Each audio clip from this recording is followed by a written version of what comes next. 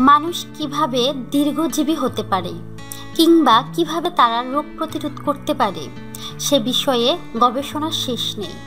পশ্চিমা দেশগুলোতে বিষয়টি নিয়ে বিভিন্ন বিশ্ববিদ্যালয়ে এবং চিকিৎসা শাস্ত্রে নানা গবেষণা হচ্ছে।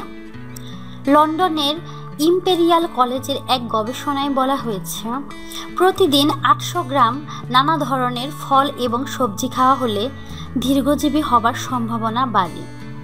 তবে আটশো গ্রাম ফল এবং সবজি একেবারে না খেয়ে দিনে দশ দশ বার ভাগ করে খেতে হবে। সেজন্য প্রতিবার আশি গ্রাম করে বিভিন্ন ধরনের ফল এবং সবজি খেতে হবে।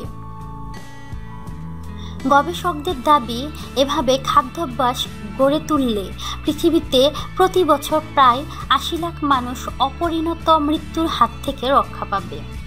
গবেষকরা বলেছেন, এমন কিছু ফল এবং সবজি আছে যেগুলো খেলে ক্যান্সার এবং হৃদরোগ প্রতিরোধ করা যায়।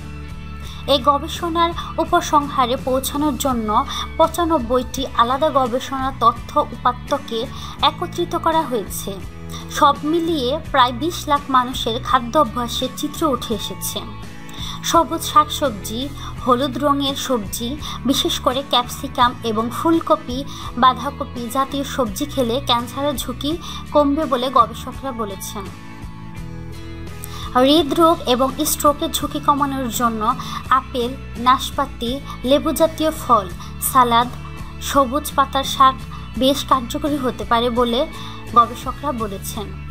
তবে প্রতিদিন আটশো গ্রামের বেশি ফল এবং সবজি খেলে স্বাস্থ্যের জন্য আরও বেশি উপকার হবে। কি না? সে বিষয়ে গবেষকরা নিশ্চিত নয়। কিন্তু বেশিরভাগ মানুষ এর অর্ধেক পরিমাণ অর্থাৎ চারশো গ্রাম ফল এবং সবজি খেতে পারেন না। আমাদের চ্যানেলটি লাইক, কমেন্ট, শেয়ার এবং সাবস্ক্রাইব করতে ভুলবেন না।